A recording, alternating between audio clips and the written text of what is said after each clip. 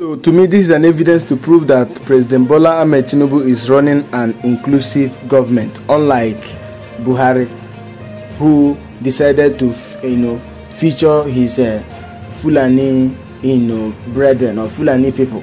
He used Fulani people to fill all important positions in his government. Now, this is the profile of new chief of naval staff Ikechukwu Ogalla. Ikechukwu Ogalla replaced Admiral Awal Gambo, who was appointed by President Muhammadu Buhari in January 2021. Today, of course, you know that yesterday uh, President Bola Tinubu removed service chiefs. He removed all of them. So Ikechukwu has now been appointed. Mr. Ikechukwu Ogala or Admiral Ikechukwu Ogala has been appointed as the chief, new chief of naval staff. Ogala is well, he was born on December 20th, 1968 in Enugu, Ezike, Igbo Eze, North Central Local Government Area of Enugu State. So he is from Enugu State.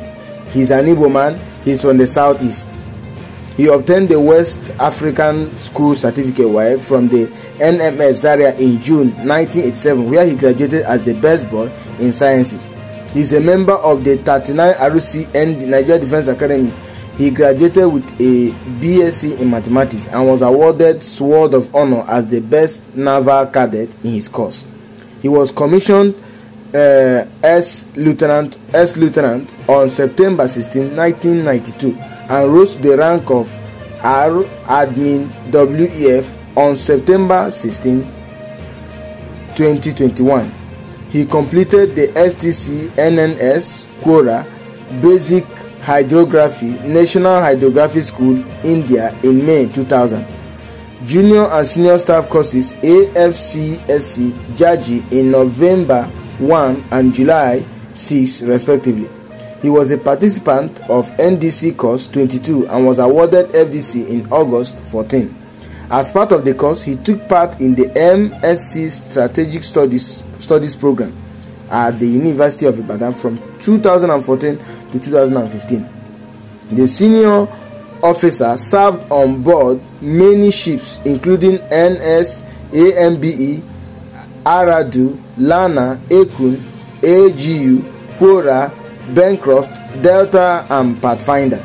While on board NNS Ekun, he took part in the ECOMOG operations in Liberia in 1996. Also, as the base operations officer in NNS Pathfinder, he was responsible for the coordinating for coordinating anti-illegal bunkering bunkering operations as well as the entire policing duties on the base. So, excuse me, policing duties of the base. During the period, there was a remarkable reduction in illegal activities in the maritime area within the base area of operations. So, the, as a, the senior officer also served as instructor C1 and COMDT NNHS. SO1 Survey and DD Instruments NNHO, ADCP, DD Hydro and DPR NHQ, as well as DS DARAS NDC and DOD NASS NHQ.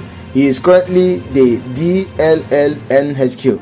During his cumulative six-year tour of duty in NNHS, he taught geodesy, datum conversion, tidal predictions and analysis, satellite surveying, bathymetry, bathymetry among others. As COMDT, he linked the school with Teledyne Marines, a reputable OEM in the US, which enabled the NN to procure several survey equipment from the company, leading to improvements in practical training. He was also instrumental to the review of the school's curriculum to align with IHO requirements.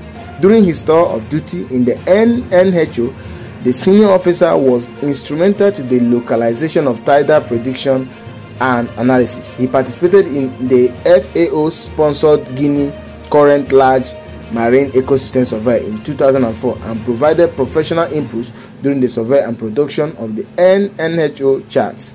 During his tour of duty at the NDC, he contributed towards the improvement of the college research package and also led the 2018 participants participants research study tour to China and South Korea. As DLL, he was responsible for collecting and analyzing previous NN operations and activities with the objective of drawing lessons necessary for doctrinal and operational improvements. The senior officer is decorated with FSS, MSS, DSS, and GSS. He is a member of the Nigerian Hydrographic Society, Nigerian Institute of Management, the International Earth Rotation Services, and also a fellow of the Occupational Safety and Health Association of the UK.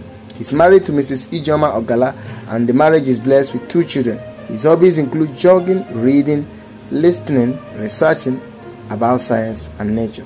So, I mean, this man called uh, Tinubu is striking a balance in the political space. He's trying to be politically correct. Let's see how correct he's going to become.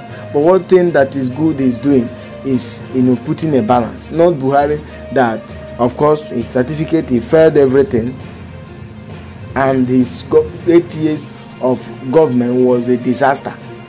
Tinubu has started on a good note, but what I'm against is his fuel subsidy removal and uh, the hike in everything currently now in Nigeria. The fuel subsidy to me removal is necessary, but the way he went about it is horrible. Nigeria is Nigerians are really suffering.